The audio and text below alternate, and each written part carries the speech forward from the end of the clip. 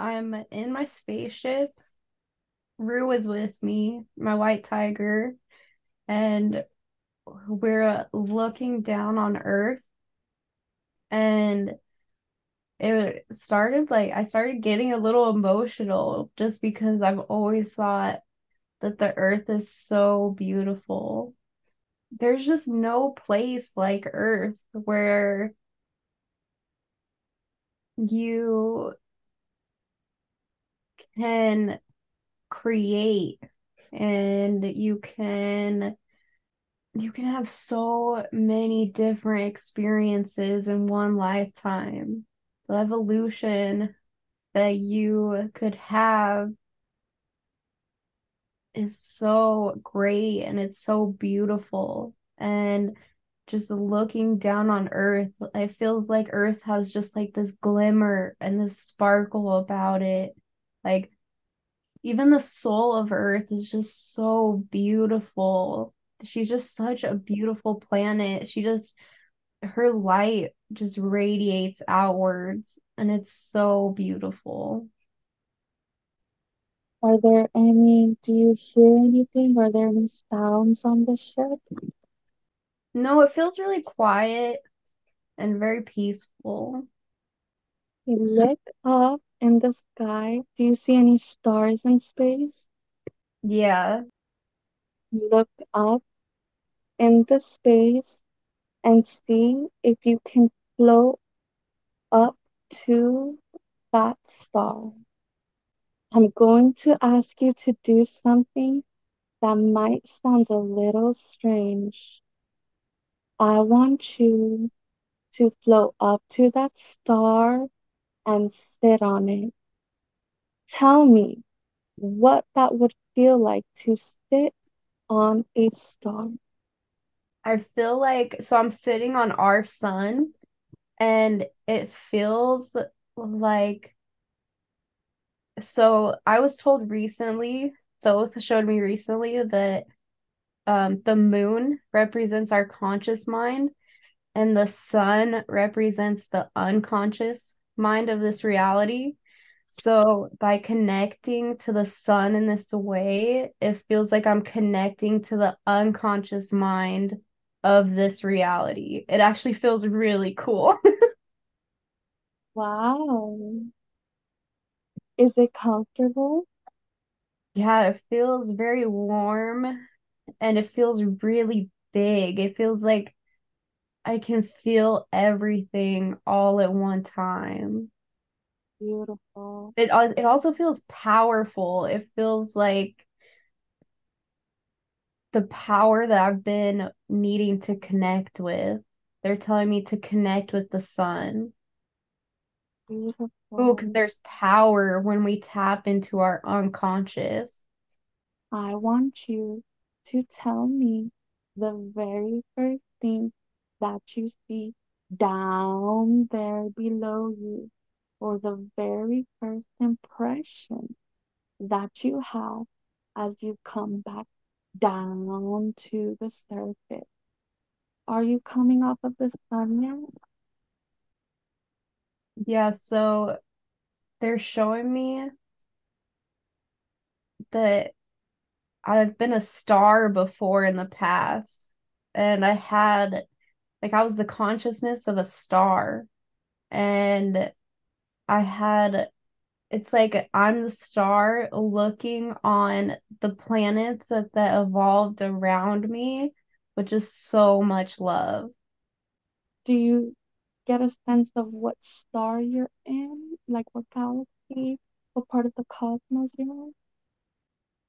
No, it's a star that no that died off, that no longer exists.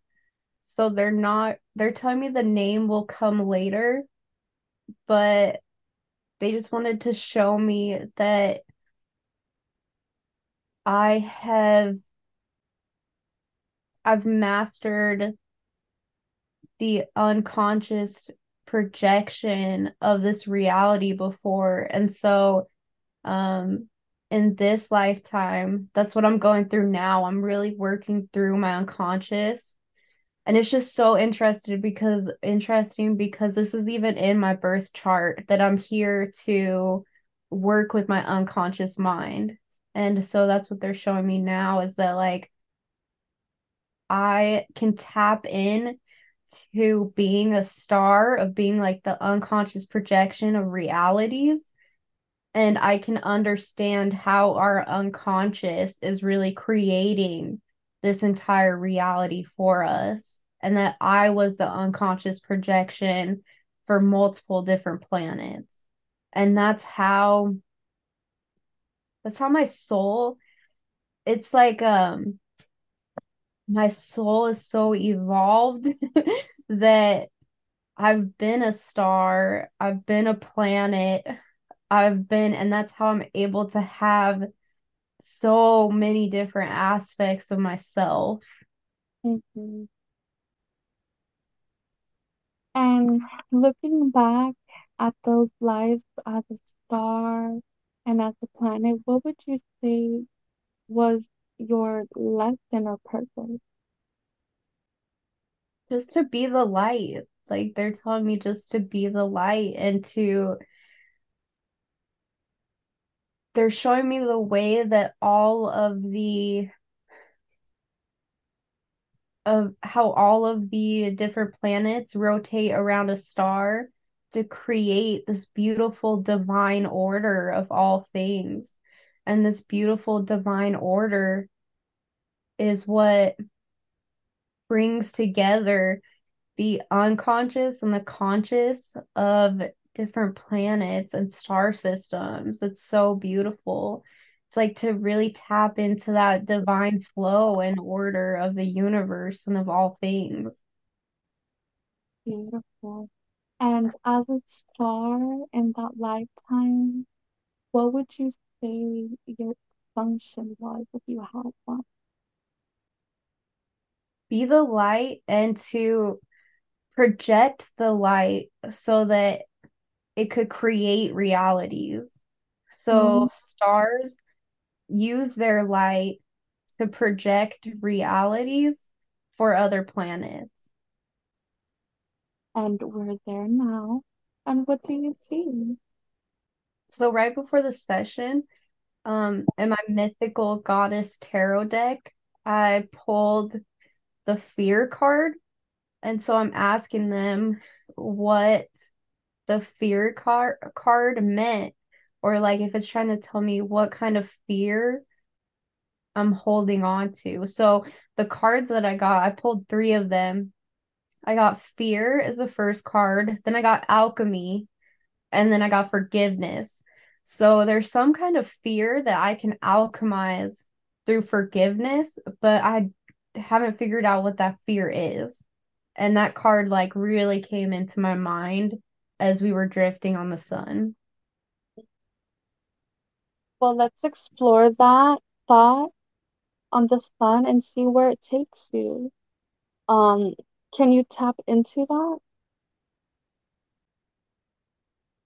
Yeah, so it feels like I'm back in like the same bedroom I had when my addiction was at it at its worst. It feels like I'm back in that time and space. And I still don't know like what they're trying to show me though. It will clear up. They said fear of letting go. hmm Do you get a sense of what it is you're afraid of letting go? I think that just like the role that I'm stepping into is just completely unfamiliar to me just because my reality before was so different and things in my life has changed so quickly and I've really taken those like quantum shifts in my life. There's still that part of me where it feels like by taking these quantum shifts, by stepping into my power, I am having to like let go of everything from my past and everything that I have always known to be my truth. Mhm. So it's like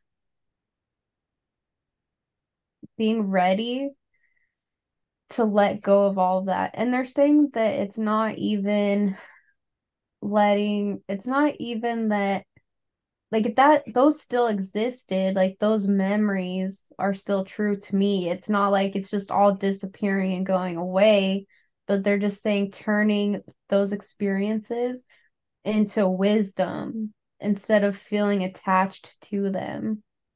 Mm.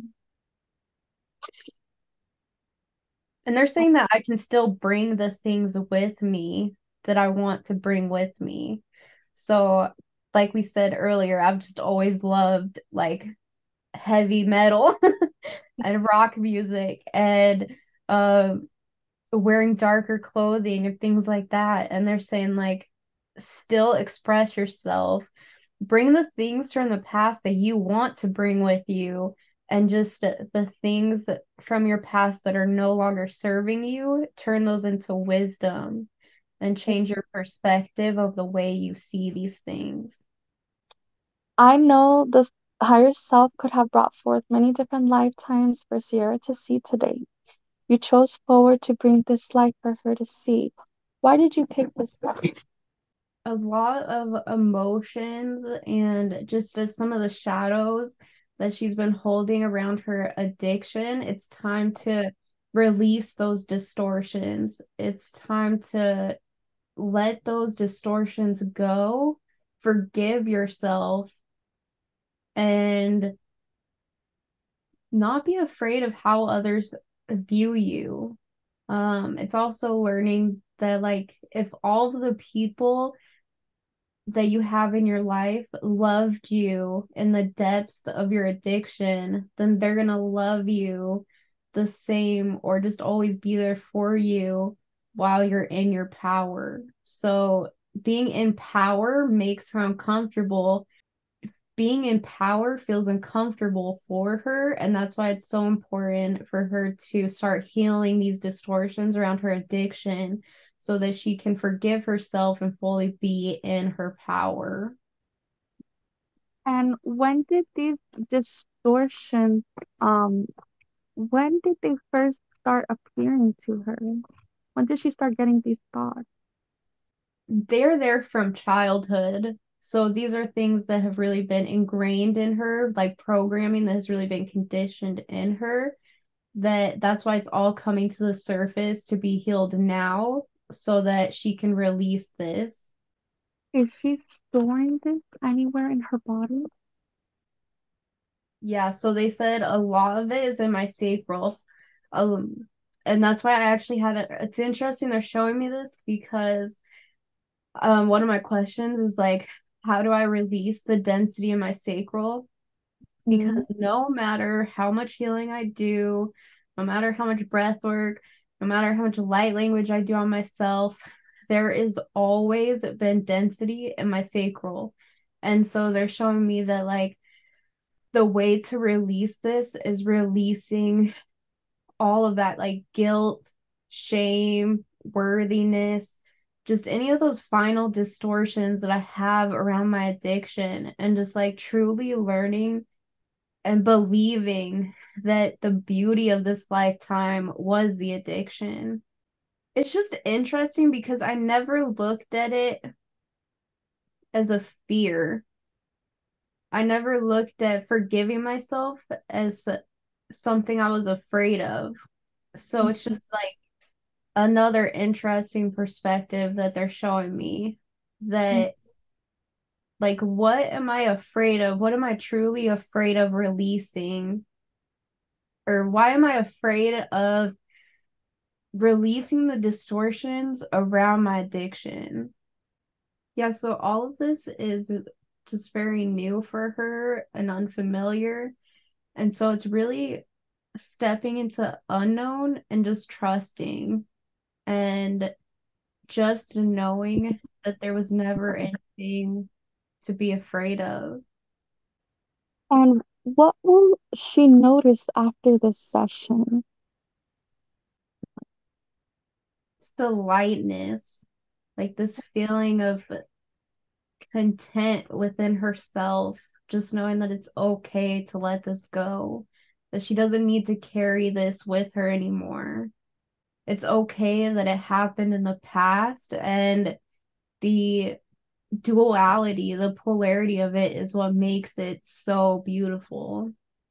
And has does Ceirra fully understand now to where we can clear this and release this for her so that it doesn't come back? Yeah, so we're just shining orange light into her sacral, just releasing this, letting it go. And then there are just a few scenes from her addiction that we're shining light on too, and we're showing her, just saying that it's okay to release this and let it go. That in that moment, she was truly making the choice that she thought that she had to and she needed to. And so it's okay to let it go. Like it's okay that that was the choices that she made in that moment.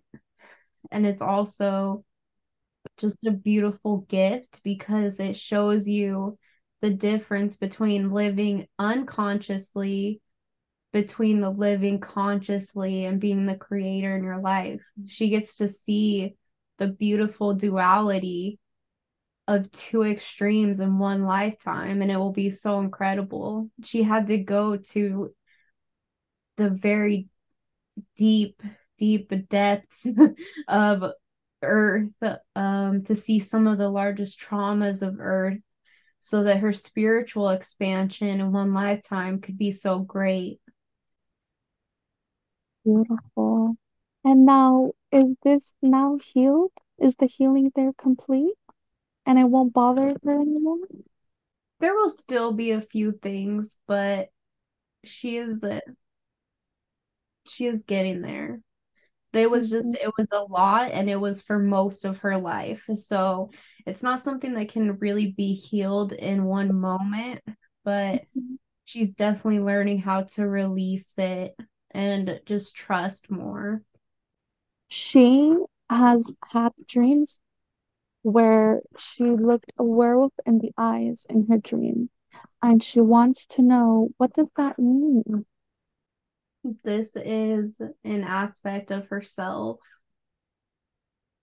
That is why when she looked the werewolf in the eye, it felt so familiar.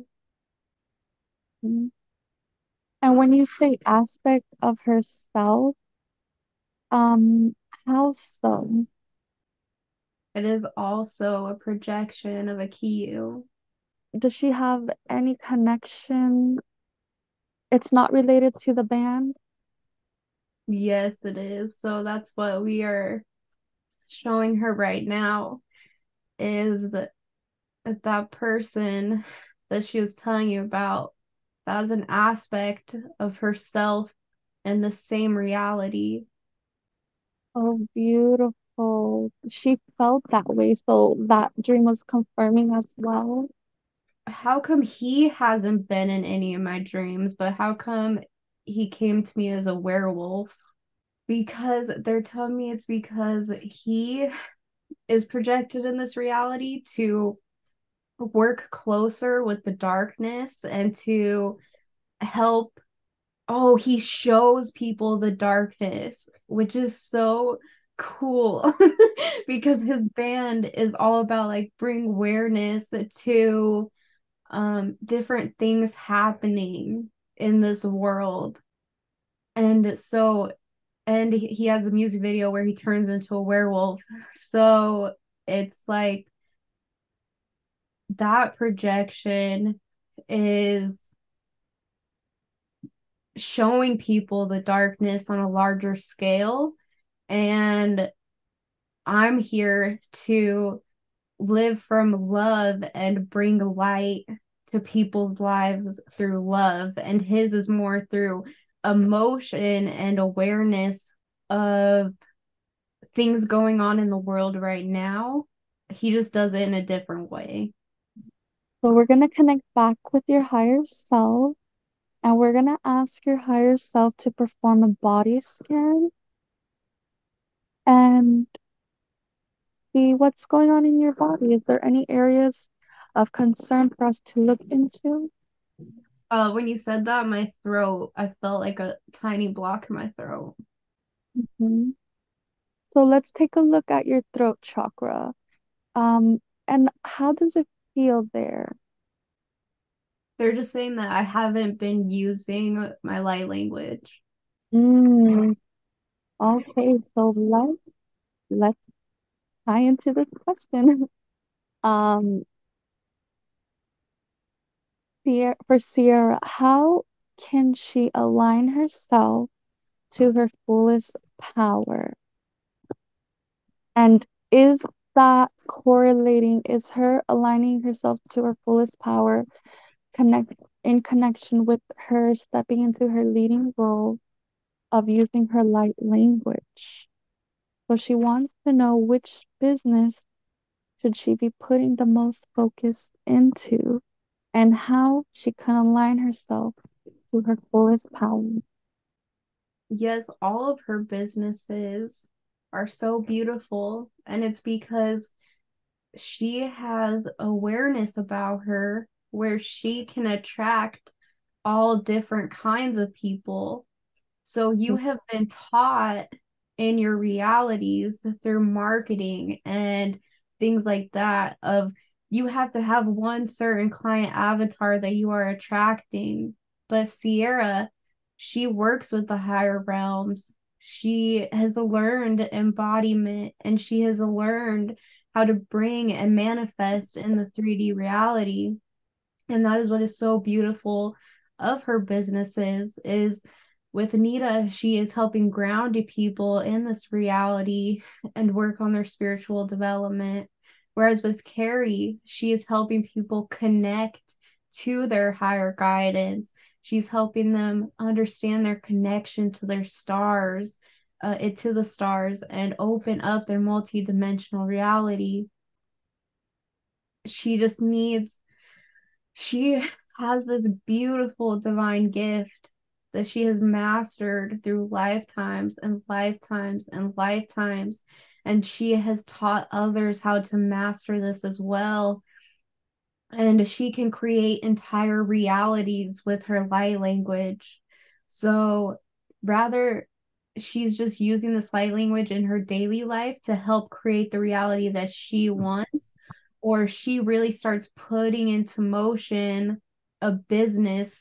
So they're showing me like um posting on TikTok every day my light language to attract light language clients to me to uh, I could be a mentor in this life to help people open up their own light language and to work with people monthly to do like light language activations and things like that because my light they're just saying my light language is so powerful that it needs to be shared that I can have so much fun with all of these different groups and creating, and they're so proud of me for what I've created so far.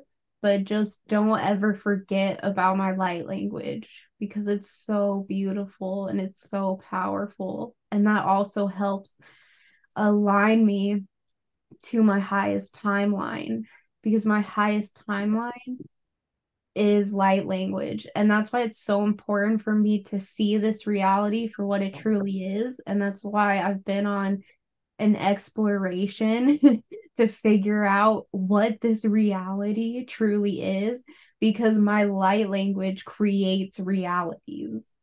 And what belief is holding her back? It's the feeling of power. The feeling of power is so new to her it's Mhm. just a very unfamiliar feeling. And she has enjoyed being in her power. She has had so much fun stepping into that role. Um, she already knows she is extremely powerful, but Mhm. her fully being in her power also represents her shedding all of the conditioning, all of the beliefs every belief she's ever had that she's not worthy, that she's not powerful, really stripping those away, seeing your true power, and then using that power, that light to get you through the gate. Mhm. So, um, earlier we were discussing um her questions and uh she made this comment where we were talking about food and she and she said um uh, a 3D food uh, or something like that. I'm like, well, you know, technically it is it is 3D.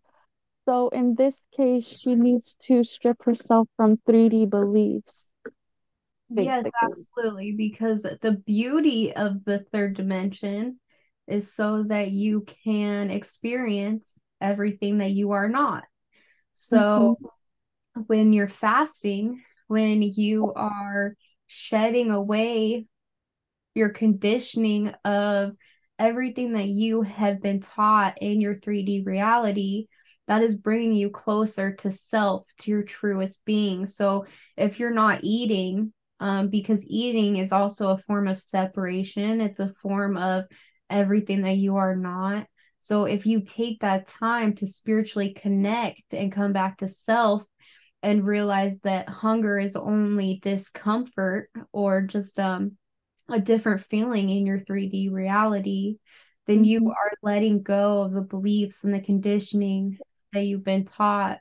And so that when she said that, there was no coincidence. It is a three, she is a fasting from her 3D beliefs. Beautiful. So not only is she fasting, um, she's going on this four day healing and spiritual fast. Um, so not only is it going to be for her to understand it's okay for me to not have to eat um every meal. I can go without eating a meal. I can skip a meal, but it's also her just shedding the beliefs of of everything that's she feels maybe holding her back. Yeah, and it, this also has a lot to do with addiction because she has let her mind, she let her mind pilot her life. Her her mind controlled her entire life. Her body controlled her entire life. So we've told her from the very beginning that she has to master her body to master her mind because her body was in control of her entire reality. It was controlling her her unconscious behaviors so she was eating and doing things without even consciously realizing what she was doing. And that's why it took her so that's why it took her so much meditation and so much healing work to get where she is now. And that's why she pushes meditation to so many people. Um, she understands that like they have to make that decision to take that meditation practice um, seriously in their own life. But that's why she projects meditation onto so many people, is because she saw the true beauty of what it created for her in her life. She realized that she's separate from her thoughts and that she has all power over her unconscious behaviors. And so, this fast for her, food is also just another addiction. She eats when she doesn't need to eat. She eats, um, she has times where she overeats. She has so many beliefs that she's had around food that are just as powerful as the beliefs that she had around her drug addiction. And so by stripping all of this away, she is truly coming back to her. They're showing me the triangle again, like that beautiful mind, body, and spirit balance. Like this final fast is like really bringing the mind, body, and spirit in together. And what does Ceirra need to know about the fast she's beginning tomorrow? What does she need to know? Just take care of yourself, meditate a lot, do a lot of yoga, don't lift too heavy, go for a lot of walks, spend time in the sun, do breath work. Just really try and stay in that calm flow, just that beautiful flow state. Um, the first two days may be the most difficult, but just stay in it and you will truly see how powerful you are. It'll be so beautiful. And is there anything that she can do or start or start doing? Um, or maybe she's already doing it, but she should do more of it to align herself to her fullest power? They said that I can use my own light language to alchemize my emotions. So when I'm going through this fast, if I start to have those thoughts, or if I start, or if different emotions start coming up to me, just getting more into a trance a state, a flow state, and speaking light language is going to help transmute those emotions. Mm-hmm. And now about the light language and transmitting the emotions, is is that also, is there more reasons as to why Ceirra's throat chakra is um needing attention? No, they just told me I need to be using it more. Just don't forget about my beautiful divine gift. Yes. And so, um, is the throat chakra right now, is that area all cleared up? Yeah, it's fine. Perfect. And now moving down the body, is there anything else that we need to look at? No, everything else feels really good. Mhm. And can we just look at her solar plexus and strengthen her solar plexus? They showed me my solar plexus as like my star energy. Like I have all my star energy in my solar plexus. It's so cool. So from that lifetime as a star? Yeah. Oh, beautiful. And you can definitely tap into that, I'm sure, during your meditation. Yes. All right. And now, besides the throat chakra, was there any other energetic blocks going on in in Ceirra? No, everything else feels really good. And can we take a look at Ceirra's neck? Is there anything going on there that we can provide healing for or understanding of?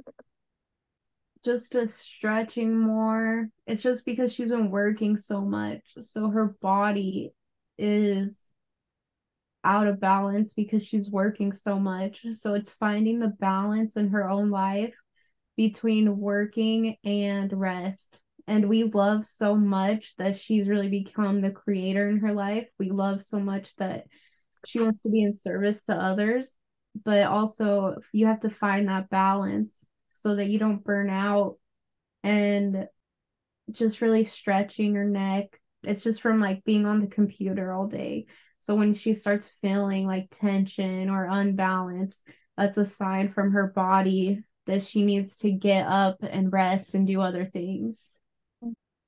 Yeah, so they're just shining light into my neck and they're shining light into my back.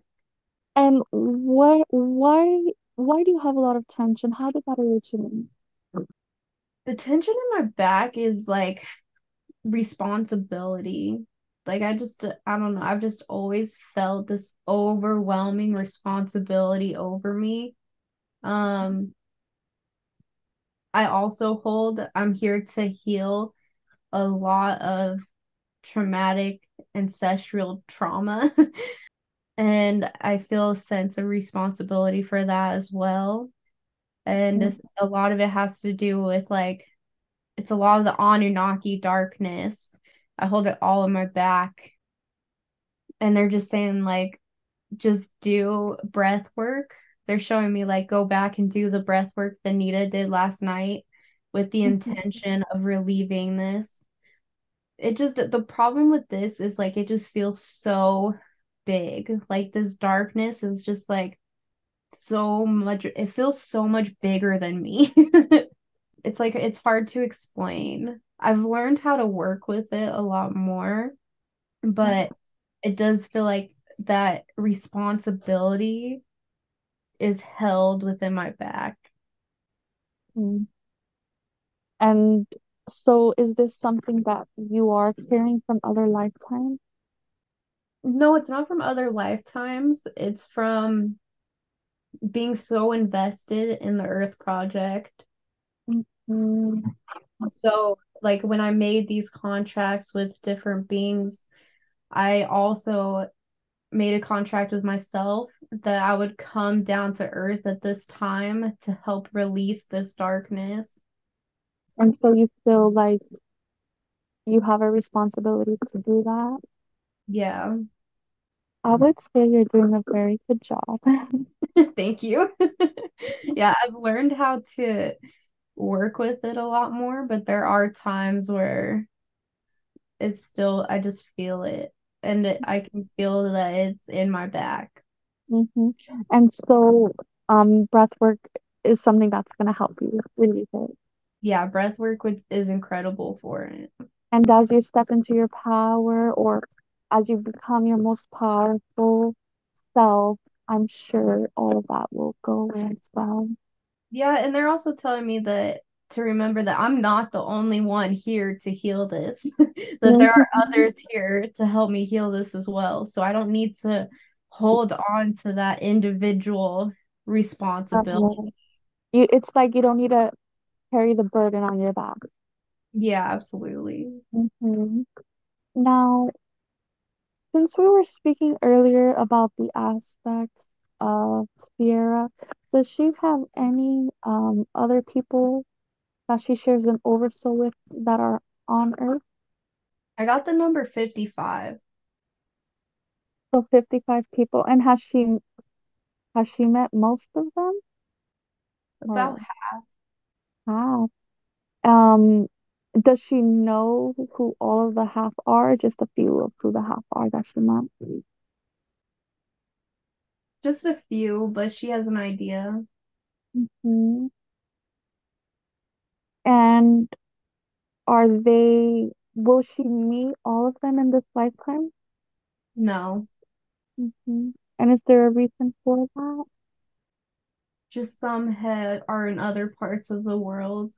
Oh, so these 55, when you say the world, do you mean Earth, like across the like pond? Yeah, so it's just 55 on Earth, but then she has other aspects of herself on different planets and things like that. Mhm. And how many aspects in total are there? Mm, if you look at the Oversoul, there are many. Mhm. The Oversoul is very, very big. Hmm, interesting. Okay, so she has 55. Um, and then how can she become an even more clear channel, or is this divine timing? Um, more meditation because she hasn't been meditating as often. And then also just trusting, just really trusting um in the information that she's channeling. So she still questions herself and she still does it get in her way. And the only person, the only thing that is blocking her is herself. Thank you for that. And what are her top three attachments in this lifetime? And how are they holding her back? Uh, her beliefs around food. That's why she has been, or she's felt so called to do a fast. And what w- what would the third attachment be? They said the past or uh, some of my addiction. So just forgiving myself for the things in my addiction. And one of Sarah's questions um that we'd like to ask her higher self is Is there anything that Ceirra needs to know about Isis and her connection to Isis? So I feel Isis here, and she's just like, it feels like she's sending me so much love. I'm seeing her, it's really interesting. I'm actually seeing her as like a blue star being. Just has like these huge wings, and she's holding the moon in her hand, and she's just saying, This is your true power, your conscious mind, and turning your unconscious thoughts into your conscious thoughts is your true power. And she's just saying that, of course, we have a connection. And now, um, what does she mean by turn your unconscious thoughts into your conscious thoughts? Becoming aware and studying your reality. Be studying your reality, seeing, making a conscious choice of the things that you do want to see in your reality, and then having the thoughts and the emotions that align you to that reality. And that will turn your unconscious into your conscious reality. But you have to study and become the scientist of your reality. You have to bring the unconscious into the conscious. So, like alchemy? Absolutely. It's Mm, this is all alchemizing your reality through consciousness. So we are so proud of her. We are so excited for her. She truly can have whatever reality, whatever experience she wants to have. It is just truly believing it.